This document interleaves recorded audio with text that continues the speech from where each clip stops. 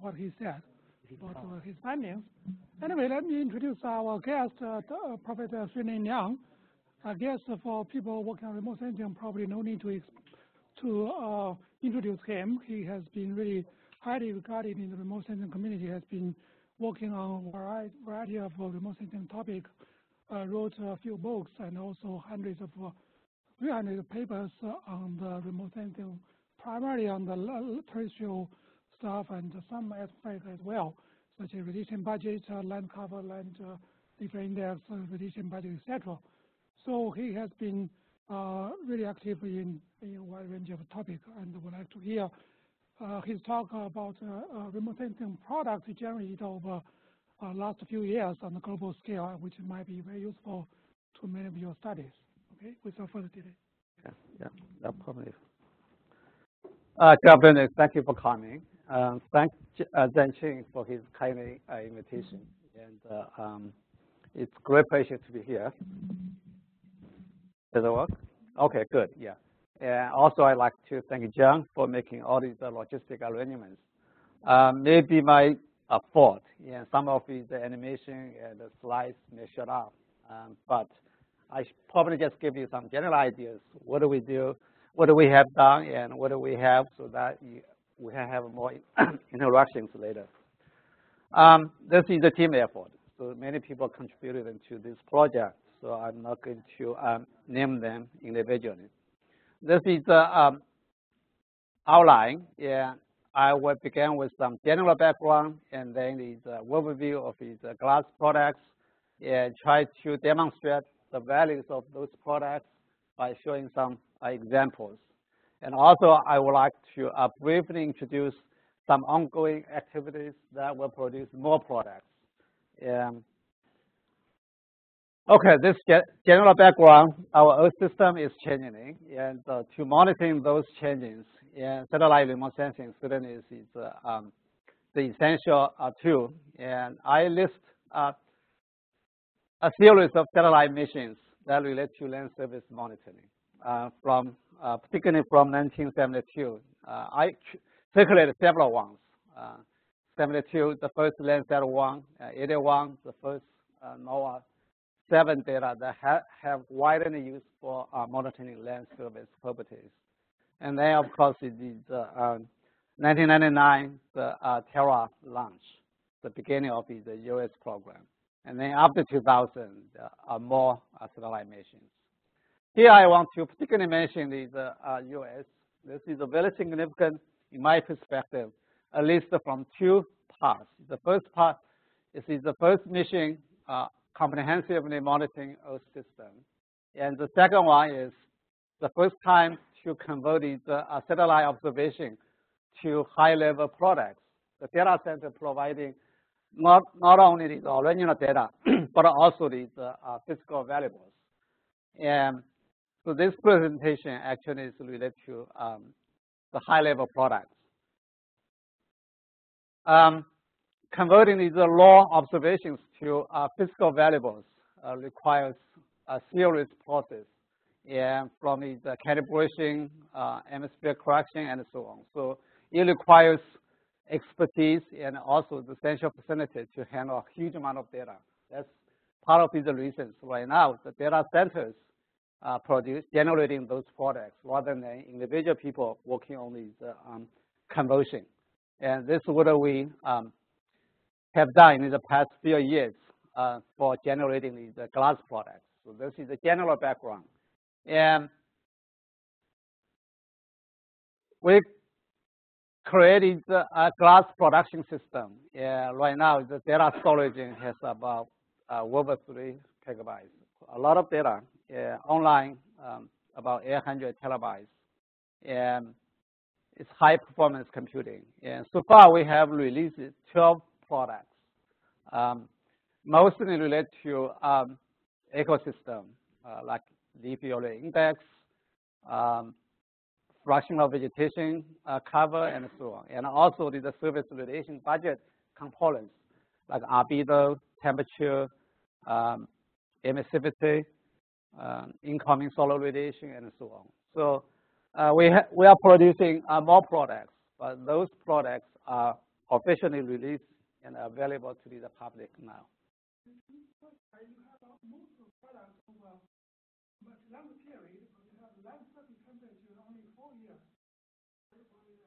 Yeah, these, uh, uh, well, that's the limitation of these resources. Yeah, we are generating the long time series for many products, eventually all these products, but uh, it's in the different phases. The first phase, we have long, um, some products uh, over 35 years, from 81 to uh, 2017, actually it's updating now. And some products are delayed a little bit, and we are still continuing. And I'm going to show you later at the last part of the presentation. Um, those products will be long time time series. Uh,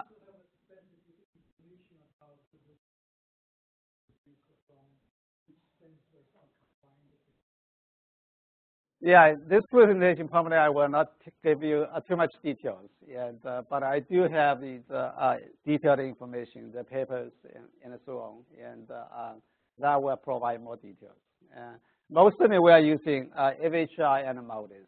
Those are the two uh, major sensors, uh, satellite data we are using. And right now we are also trying to incorporate more satellite data in order to improve the quantity and the accuracy.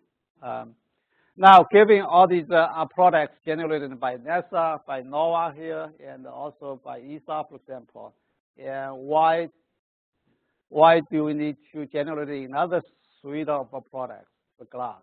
Why do you want to use in those products? Well, here I give you some reasons. Uh, the glass products have some unique features. Uh, first of all, it's based on a solid theoretical uh, foundation. And uh, um, the algorithm are published in the top remote sensing journals. And uh, um, so right now, everybody can produce products, but it could be garbage if you don't have a good theoretical understanding and solid algorithm. And then you have some other features. Uh, we already mentioned uh, many products have a long temporal coverage over 35 years. That's suitable for uh, long-term environmental changes. And then some products, particularly the radiation products, have high spatial resolutions. So five kilometers versus one degree, for example, right now are widely available. And then we also generated the first high resolution, the spatial, both spatial and temporal uh, broadband emissivity product. And then, of course, we try to uh, demonstrate uh, those products are highly accurate and, and consistent and if you notice that we have publishing, uh, for each product, we're publishing a lot of papers actually. And uh, we are uh, focused uh, on different aspects uh, of remote sensing inversion algorithm, uh, like using prior knowledge or using algorithm integration or using multiple data sources and so on. And, and then as, as mentioned, we are also working on these books and try to well, that's demonstrating uh, we are at the frontier of the remote sensing uh, inversion. And so that gives you some confidence. This team uh, has a good uh, foundation. Uh, well, looks like it's working. Huh? And since we are generating the time, long time um, temporal coverage, and so obviously we can capture the, the dynamics of land surface properties. Uh, here I just want to go through very quickly. Uh, land surface albedo, for example, as an example. If you look at it, uh, MODIS uh, views, they're uh, starting from 2000 or even 2013, and then a bunch of uh, um, products from ESA, and, but they're also short period of time. And uh, uh, since we are using AVHRR, and so the, we can cover uh, more than 35 years. And the LAI product, this is uh, another, that's kind of a, a flagship product of a glass product suite. And you can see there's a tremendous amount of uh, dynamics on the, land surface. And then it's, uh, um, this is the a of vegetation cover, and we compute, this is a time, long time series. We also compute the, um, the GeoLand FVC, that probably is the best product from Europe. And MODIS doesn't have a, a of vegetation cover. And so we demonstrated in the paper, and we have much better spatial coverage and no data gaps and data quality. Uh, it's uh, it's very good, even better accuracy. This is the FA product, and it's similar to LAI. You can see the, the tremendous amount of variations. Um, and then it's the evapotranspiration. I want to mention that that is based on the, algorithm integration. Right now, if you look at the MODIS, uh, the NASA's algorithm or ESA's, uh, most most of the products generated based on one product, one algorithm. And here we try to create the product based on the integration of five algorithms, so including the MODIS algorithm. And in theory, if we just doing everything similarly, um, we can achieve at least the same accuracy as uh, as the MODIS product. Yeah. Actually, in the paper we demonstrated uh, using algorithm integration, we can take advantage of the, the strengths of, of individual algorithms so that the final product it's it's more accurate and has better uh, quality. So here I want to demonstrate why do we need a long time series product. And this is the example uh, Greenland. Uh, we all know because of the global warming and a lot of snow melting occur in the uh, Greenland. Uh, this is the MODIS imaging in the July, and the white part pretty much still snow ice covered, but the rest of the, the island uh, pretty much melt. And so when we look at the albedo, we can show the, the difference here. On top of the Greenland, uh, albedo changes uh, little, but if you look at the edge, particularly low elevation, a lot of albedo decrease we can see.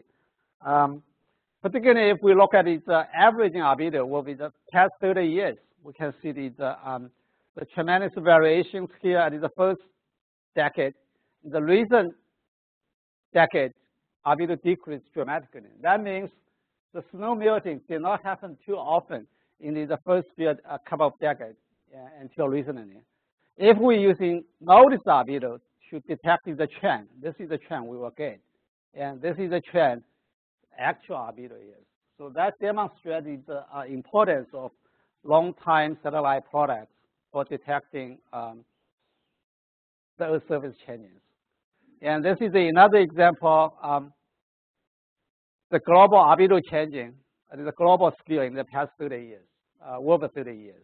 So it's very interesting. In the winter, albedo increase uh, global scale. And then in the summer, uh, decrease. And then is a major driver actually is the changes in snow cover. So we put the two lines here. One is the global albedo, another line is the snow uh, snow cover. So the two lines have very good correlations, either decrease or increase in the summer and the, and the winter. And the, uh, the emissivity I mentioned is uh, um, MODIS has the spectral uh, uh, spectral emissivity product, and uh, uh, many people have developed these uh, emissivity maps in order to drive these uh, global models. And here we are generating these um, eight-day, five kilometer, one kilometer emissivity after 2000. Before 2000, it's a five kilometer global emissivity product. And if you look at the global circulation models, many of them using simple, uh, simple formulation of the emissivity or using these uh, maps, emissivity maps. So here you can see the, the tremendous amount of variations because of these uh, seasonal changes. The snow cover changing to vegetation and soil and so on. And years ago, well, almost 10 years ago, we published a paper in Journal of Climate demonstrating the importance of satellite emissivity. And we run the uh, couple models, the atmosphere model and the land surface model. And we keep everything the same except the um, surface emiss emissivity. This is the Menglin Jin's work. And she um, running the model using default values and then changing the, changing the emissivity by satellite emissivity product. And then that is the difference. And we look at the multiple product uh, variables. That's just uh, year air temperature. So this is the mean temperature, the global distribution, and then see the difference between the model simulation between the default emissivity value and the satellite emissivity value. So it, as you can see, the difference as large as two degrees. It's huge. Um, so that illustrates the importance of satellite products. And the radiation products I mentioned, yeah, if you look at it, the CERES product or uh, GEWEX, uh, ISCCP, their spatial resolution is quite close, one degree or 100 kilometer or 200, 280 kilometer. And for atmosphere study, for climate study, that's probably okay. But for lab applications, we need much higher spatial resolution. So we are generating five kilometer product. And well, this table doesn't show up. The, if you look at the WMO requirements, it requires a much higher spatial resolution from one kilometer, 20 kilometer, or 100 kilometers. So these, uh, uh, then um, I also, uh, we also look at it, uh, uh, this is the two, two maps. One is the CERES map. If you look at the CERES radiation product, this is surface net radiation. You can see the boxes one by one because it's one degree by one degree. And then if you look at the glass uh, radiation product, this is the over Beijing uh, around, around the surrounding area. And it has tremendous amount of details. It really depends on applications. Um, okay, um, this also uh, doesn't shut up. And a few months ago, we published an article in the JGR, and we look at it, we validated the CERES product the net radiation product and the glass net radiation product. If you look at the scatter plot, they're both pretty similar. But if we average with uh, um, the global land surface area, and then look at the trend, it's very interesting. The CERES uh, gave us this uh, increasing trend from 2002 to 2008. That means the net radiation, the available energy will be the land surface increasing the last the first 10 years. But we, when we look at it, the glass uh, product is decreasing. That means the energy will be land surface uh, decreasing in the, in the first uh, about 10 years. And so the totally different opposite trend. And then we also look at the several reanalysis products which are consistent with the glass product. So that demonstrates the, um, the different, well, that's actually the emphasizes the importance of uh, validation. That needs to look at the temporal variation uh, rather than just scatter plot. And because when you have large uncertainty, that probably will capture uh, miss, miss uh, capture of the, uh, the trends. Um, um, that is that is another work. We try to demonstrate what is the big deal if we have much better um, radiation product. And we illustrated here in this uh, paper the same GPP model, and we only changing the input of solar radiation. So we inputted uh, six, I, I think. Uh, one of them is, a glass uh, product, and then we demonstrated the glass product uh, general, uh, produces the best GPP simulation based on the ground validation. The LAI product, as I mentioned, this is a flagship of a glass product suite. Yeah, it has over uh, 35 years. Uh, it's a long time series. And we, um, yeah, I apologize. The, um, last year, we published an article in the, in the uh, Agricultural Forest Meteorology, and we compare a four long time uh, LAI products available in the in the uh, global community, and we find out the glass uh, LAI product has has the best accuracy and, no gaps. And this is the spatial and the temporal continuous. And yeah, if you're interested, you can check the paper. At least the the the, uh, the information, the full information of the paper is available now. Um, then we also um, a couple of months ago, the another uh, paper published in the remote sensing environment by another group is an independent uh, validation, uh, including uh, Ranga Myneni, this is the Modis LAI product developer. And that paper showed glass uh, LAI product has the least uncertainty. That means it's the best accuracy. Um, okay, at least the, the, conclusion is clear. And the glass product has the lowest uncertainty by computing um, nowadays uh, GEOV1. This is the best, probably best European uh, LAI product. Um, here I just quickly showed you several examples uh, using a product in the system modeling, for example. And if you look at the LAI values in, in those global models, they're giving a very long LAI values. And uh, so that emphasizes the importance of satellite product for improving the global modeling. And this is the example uh, using glass LAI for uh, driving the, the VIC model. This is a famous hydrological model. Uh, many of you know quite well. And this is another example uh, using glass LAI for detecting the greening trend over China. This is a big topic right now. And uh, um, another paper in the Nature uh, Climate Changing, they show the greening trend not just over China. Actually, it's a global phenomenon. So they're also using uh, glass LAI product to uh, to detect the greening trend. Okay, and the same thing for the, the FAA And we also published in the article in the IEEE TGRS uh, last year, demonstrating uh,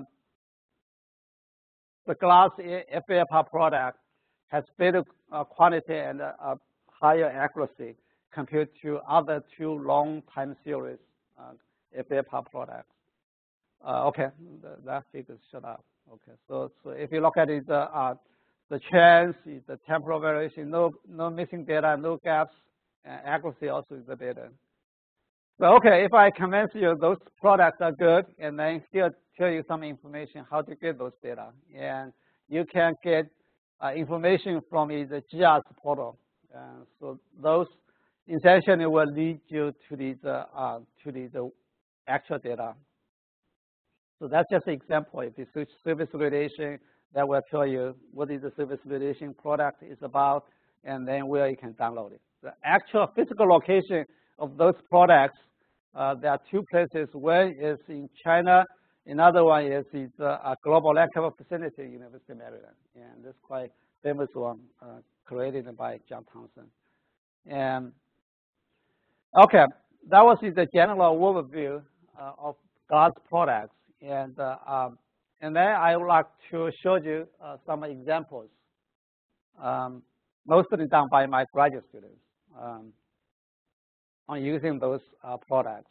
Uh, so we have done uh, quite a bit for detecting and monitoring and for driving these uh, different models and even doing these uh, data simulation using ecological model or, or agricultural uh, plant growth model for estimating crop yield and so on. And so here are just some uh, quick um, examples. Uh, the water cycle changes in North China. Uh, as you probably know, it, this is the arid semi-arid region in China, and because of global changing, it's uh, drying, uh, it's drier and drier, and so we try to understand these uh, um, the different components of the water about water cycles. And uh, um, we look at its uh, precipitation, look at its uh, evapotranspiration, and and so on. So try to understand the the trends and variations, spatial temporal variations.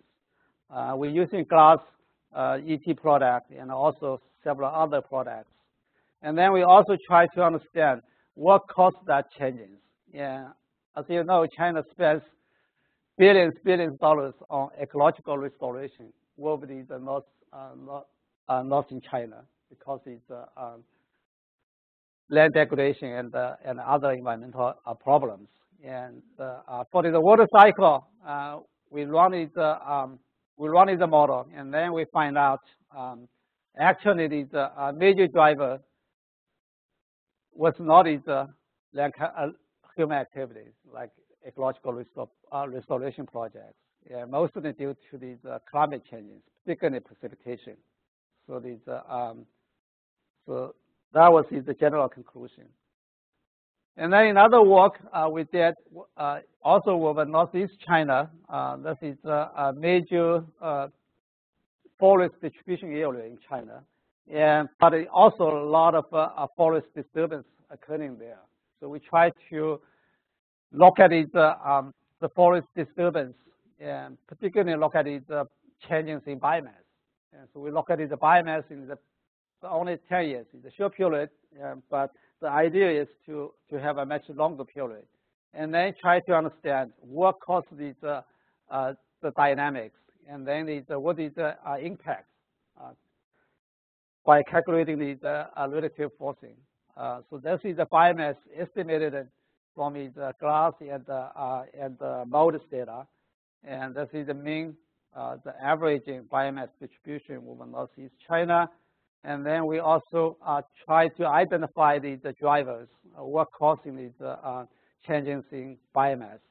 And then as you can see, these, uh, we look at these uh, multiple disturbing factors, the logging, afforestation, reforestation, the, the forest fires, and then also look at these temperature, precipitation, and so on. And then finally, we calculated the relative forcing uh, by mostly on these uh, changes in albedo. This is by physical effect, and we also look at these uh, CO2 uh, effect uh, since we come out uh, biomass, and then we compute these. Um, we look at these four disturbing factors, as I mentioned: the logging, fires, insect damaging, and forestation. And so you can see some cases that the relative forcing due to albedo changes are significant, and some cases smaller. And so that just demonstrates the uh, value of uh, glass albedo product. Another example is, is uh, um, changing snow cover over North America, uh, North Hemisphere.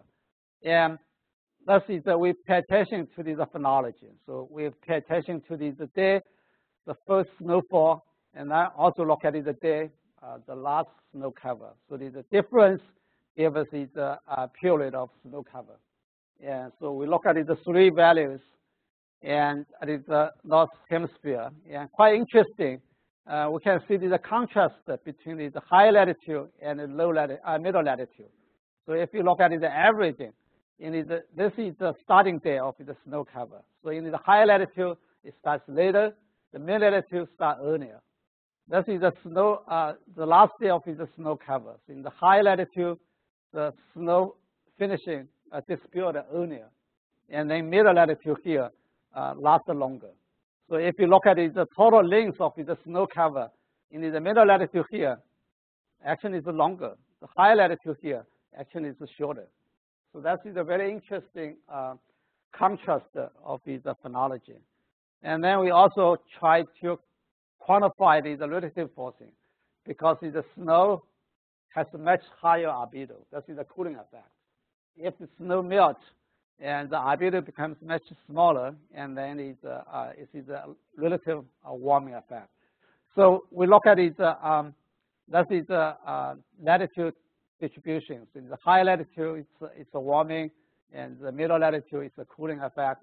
And then if we average it together, that is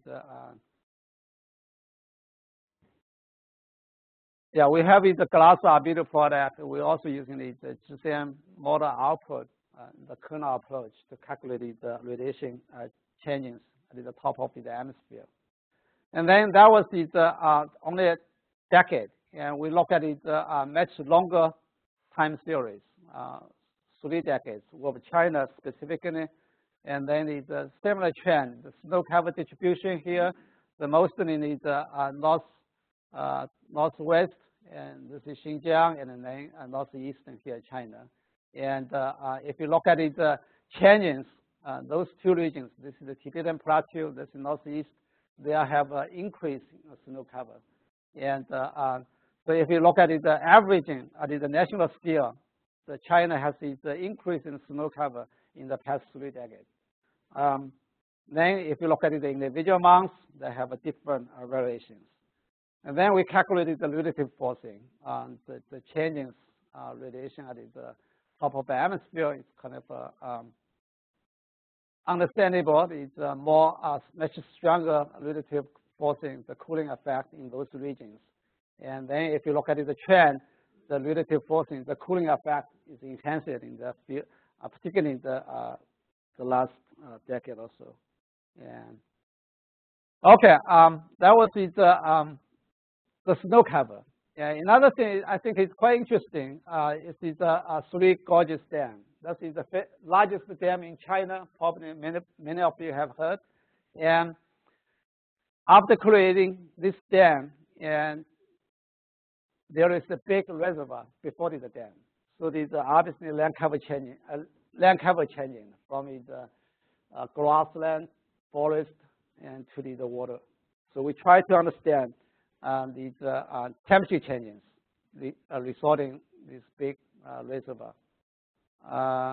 Okay, didn't shut up. yeah, I apologize. Um, but anyway, uh, we look at its uh, um, albedo effect. We also look at its evapotranspiration effect. And then we find out the, um, the impacts land surface temperature are quite, quite minimal in the winter. But in the summer, it has significant cooling effect. But in the cooling effect, mostly needs a, uh, five kilometer buffer along this reservoir. And many people wondered the impact of the big reservoir, the Three Gorges Dam. And uh, I spent the summer in Wuhan, and then when I talk to the taxi, the taxi driver will tell you, Wuhan used to be very hot. Right now, it's much milder because of the Three Gorges, uh, Three Gorges Dam. So probably it's not true, but it's, uh, uh, so we try to understand if this is actually caused by the dam. And my, our conclusion is Probably it's not. Uh, we try to also look at the precipitation, but that gave us a confusing message. So at the end, we only publishing the, the temperature part. Um, oh boy, this one. Um, that we also um,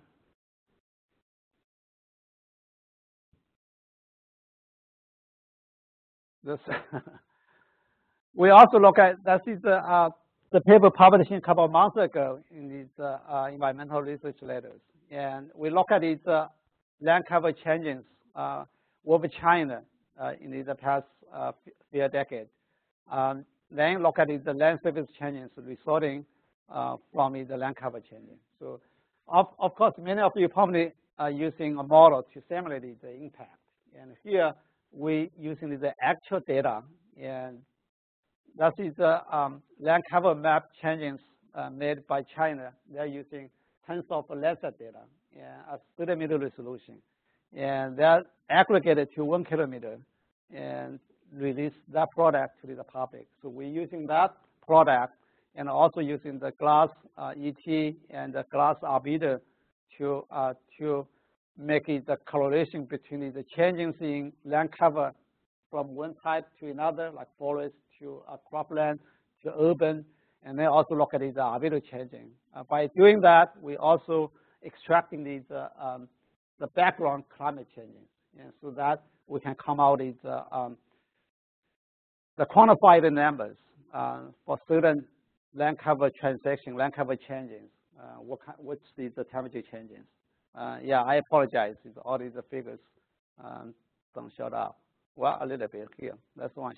Uh, here, to give you some example, for example, um, this represents the intensity, transition intensity. This one, for example, this is uh, uh, cropland to urban.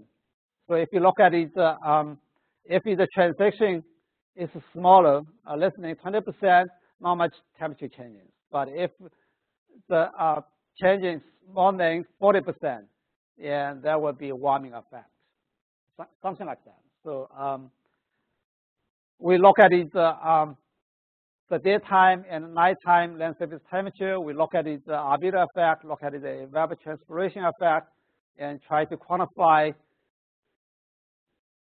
the impacts of each um, of those two facts for each uh, land cover conversion. Um, Okay, that was pretty much several examples, uh, mostly done by my graduate students, so very quickly. And here I want to uh, show you very quickly about a couple of other activities are doing. The first one is um, the GLASS products right now is a one kilometer or five kilometer resolution, the global scale. And for climate changing, for many applications, that probably is a good resolution, or even probably too, the spatial resolution too high. And right now we are, for other layer applications, we need much higher spatial resolution. So um, we are developing high GLASS products. Uh, so that is uh, something uh, going on. We have not been able to uh, release the product yet. And this just shows you the example. We have we have publishing the uh, algorithm on albedo, and this is uh, on this is the broadband emissivity. This is also the Landsat. This is um, fraction of vegetation cover from Landsat. Um, is the, um, the ET, also from Landsat. So the algorithm are pretty much ready, and then we also set up is uh, uh, facility to uh, to generate this tons of data. We're talking about several petabytes data, so um, involves a lot of processing. Another is is uh, uh, more CDR products. Uh, this is a big project involving uh, multiple institutes in China, and a lot of people involved. And general idea is to uh, generate more than 12 products. I just showed you. And actually, we, we, are going to generating 29 uh, climate data records. Um, and then also uh, working on these uh, algorithms for another 30 products.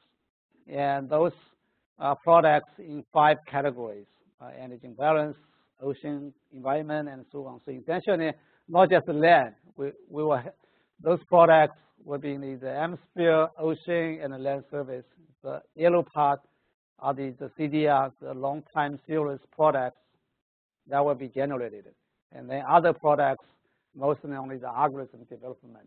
And so there, there won't be these uh, um, long time series, but only several, um, generate these products uh, several years. Okay, uh, here just one example is the top of the atmosphere albedo. And this is something we, um, if you look at it, uh, well, the, the figures uh, doesn't show up.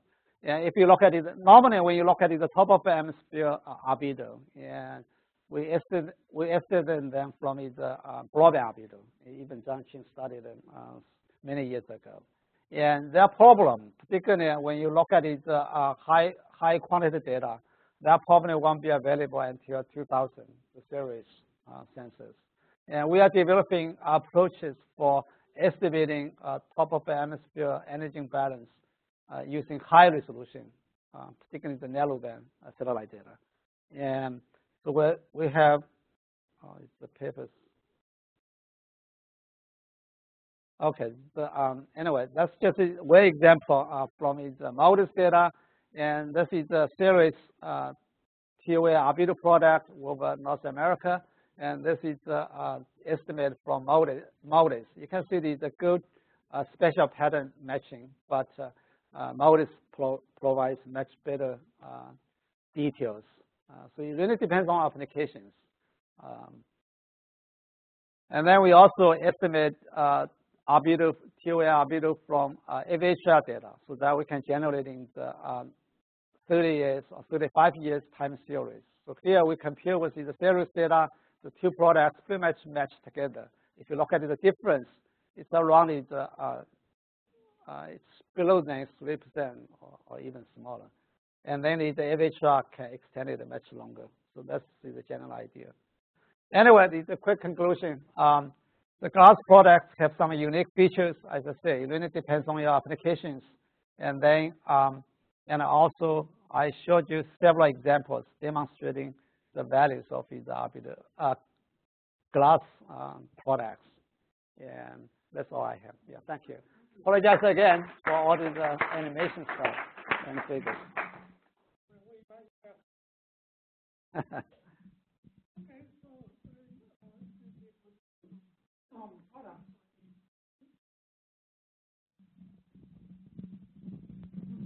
Can you talk a little bit about how you dealt with calibration differences between the um, between the satellites over such a long time period? Like AVHRR goes back to 1981, and there are different calibrations um, compared to MODIS. How how did you deal with that? That that is a very good question. Yeah, this, uh, uh, right now, at the very beginning, we our idea was to uh, create the product before uh, 2000 using AVHRR, and then uh, after 2000 using MODIS. And then we find out it didn't work. The reason is that the calibration. Yeah, so we can see the jump around 2000. That also is uh, because of the big El Nino in um, 97, 98, and then there's a lot of uh, land surface also changing around that time. So it's difficult to tell. It's the difference is a jump, big jump due to the satellite calibration or due to the uh, natural uh, phenomena. So right now we are generating the two products. One completely from AVHRR. So right now from 81 to now. And then also we generated uh, MODIS product. And, and then actually we are uh, we can see some difference. We are spending a lot of time right now trying to uh, harmonize those two products and make sure they are consistent. And we are not doing any uh, calibration ourselves, and we rely on the uh, raw data set. And before we using uh, long-term data record, pretty much generated by Eric Vermote, the NASA group. And right now we are also using uh, NOAA CDR. I think it's generated by uh, NASA Learning. That is another AVHRR data set. Um, the, the NASA, the Eric uh, Vermote, they're generating the product only one value each day. But the learning product, they keep all these uh, uh, data sets so that in the high latitude region, you have multiple observations.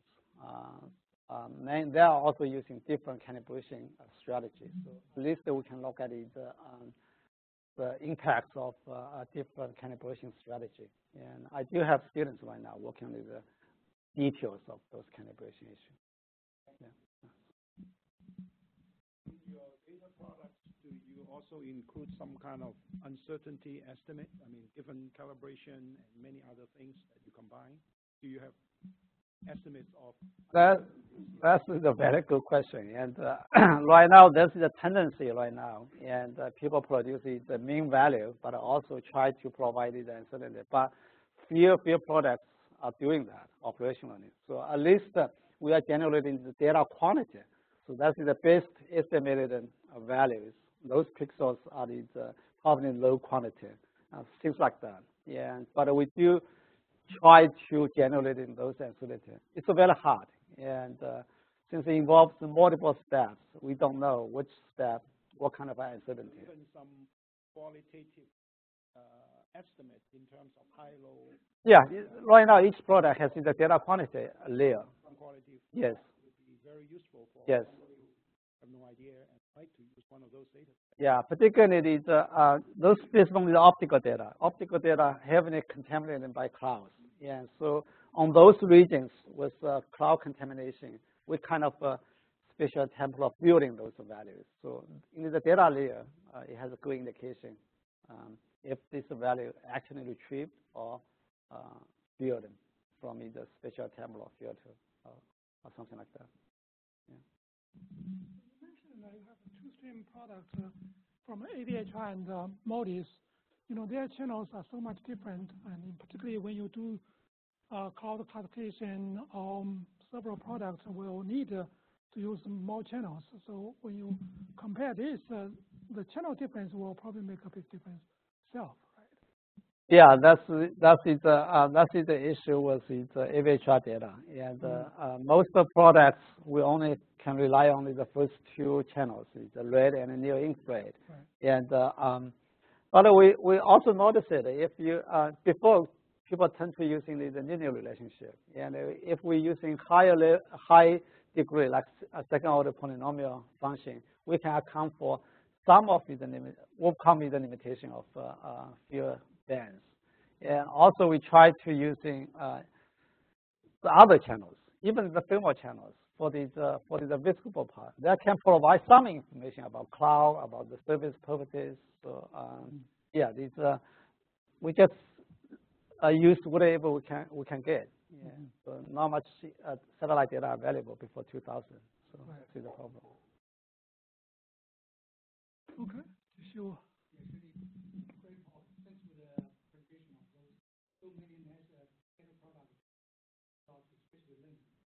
Both uh, NOAA and NASA invested billion billion dollars to sensor product development. Uh, almost none of them has been used uh, in their operational weather forecast. One argument from them is uh, product consistency issue for them. Our product probably is not that consistent. Looks like a GLASS product is very consistent. Also, we did some data simulation wondering if you, have a lot of grad student resources, if you can focus on NCEP models, try to demonstrate uh, the product impact on lower weather forecast. That would be great. You, you showed us some uh, impact mm -hmm. with the NCEP model. We together work with the EMC people, did an albedo impact study too. I don't know what the problem with uh, our study we do not show much protocol. Either our algorithm, I mean, the assessment is not good, or the model has problems. I'm wondering if you can try to use your product to assess the issues associated with the uh, model. Yeah, this is a very good po uh, point. Yeah, good comment. And uh, actually, I don't have many students. Yeah, uh, but uh, but if they are there are resources, and then we can hire graduate students. And uh, that is a very good point. And uh, we need to demonstrate the uh, applications of those satellite products. The one point is, you also mentioned the satellite products getting better and better. And uh, particularly for anyone who is generating long-time satellite, global satellite products, we focus on the, the consistency, not just the uh, temporal consistency. We also look at the spatial consistency because it's a different land cover, different atmosphere conditions. And uh, if you look at the literature, um, somehow I feel the European community are producing more papers on integrating the models with satellite products, maybe because of the funding there. And here's the few papers coming from the US side. And so I think this area we should, we should, um, we, we should promote and facilitate. And uh, yeah, it's, it's uh, that is a good example. The, the NOAA and the university can work together. And so. right now we run the problem to give our own product because uh, especially TK said we want money to give product. We have to find the user first. To have interaction with the MC people, but uh, yes, your product is good. We need that. Uh, after we develop that, I guess uh, my, my guess the reason is because the the signal from your improved uh, albedo product is, is much less than the noise produced by the weather forecasting. so you probably won't see the, any difference uh, if the weather model itself has much larger errors.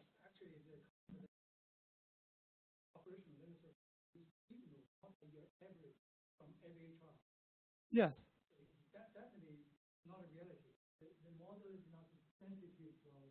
It's not sensitive. It's just because the model, the, the numerical weather model is much more erroneous than the than the surface uh, albedo. I, I think that's most likely the reason.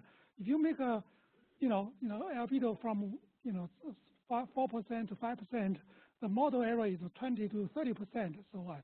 You know, I think that's probably the reason. You know, the cloud is much more error than the surface albedo.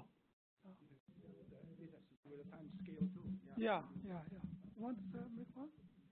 Yeah. Maybe I would just like to add one more question that, uh, okay, I think we have uh, some satellite data producer here in this room.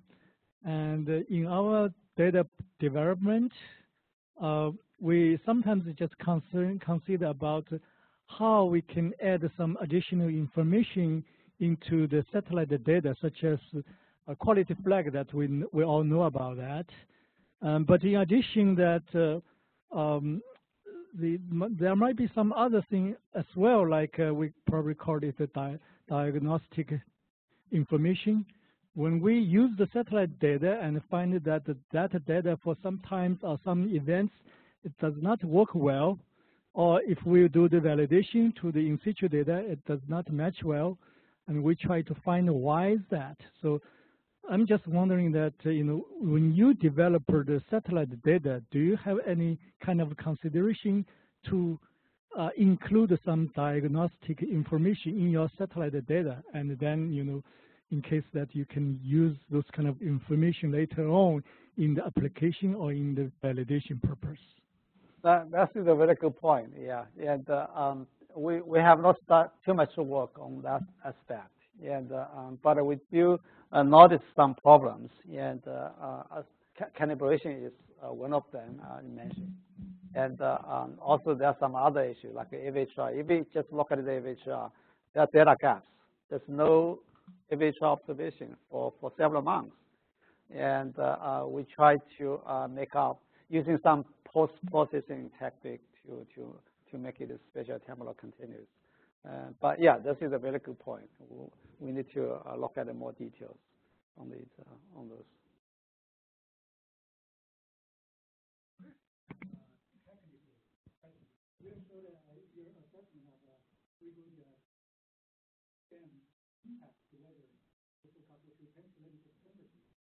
As I understand it, the reservoir very narrow, and you mentioned it changes with uh, when, when cover time.